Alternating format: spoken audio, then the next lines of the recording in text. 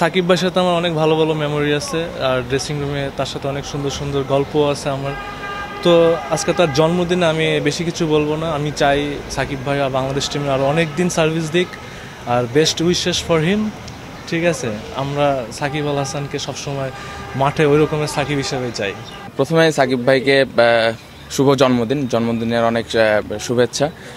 আশা করব সামনের আহ, খেলাগুলো আছে আইপিএলে গেছেন উনি ভালো পারফর্ম করবেন দেশের অনেক নাম করবেন আগেও করে আসছেন সামনের দিনগুলো অনেক ভালো হবে।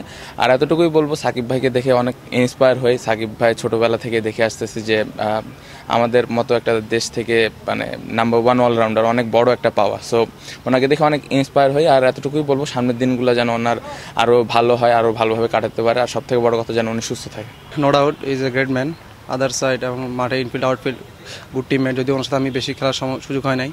তো আশা করি ওনার শুভ জন্মদিন অলরেডি উইশ করেছি ওনাকে, ওনার পার্সোনাল হোয়াটসঅ্যাপে বা ইয়াতে। ইনশাল্লাহ ওনার দিনগুলো শুভ হোক। সামনে যেহেতু আইপিএল উনি জয়েন করছে, আশা আমরা সবাই আশাবাদী অবশ্যই ভালো করবে এবং অনেক বছর ধরে খেলছে এক্সপিরিয়েন্স আছে ওনার আইপিএলে আমরা সবাই মুখিয়ে আছি ওনার পারফরমেন্স দেখার জন্য। হ্যাপি বার্থডে ভাই।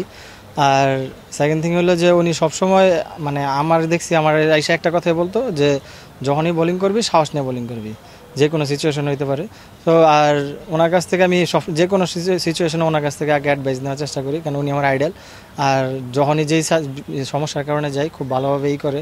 সো ন্যাশনাল টিমে হোক বা লিগে হোক ন্যাশনাল টিমে বিশেষ করে উনি মানে ইন্ডিভিজুয়ালি আমাকে ডাইকা ডাইকা অনেক কিছুই বলতো।